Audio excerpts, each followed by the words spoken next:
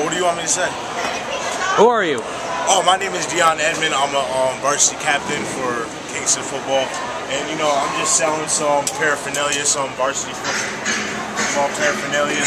And, um, here we got some t-shirts, we got hats, we got cowbells. Cowbells, huh? We got water bottles. We got, um, we got some lanyards.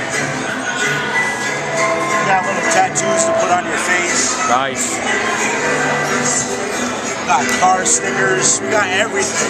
Anything you want, you just come on down to the um, Kingston football booth.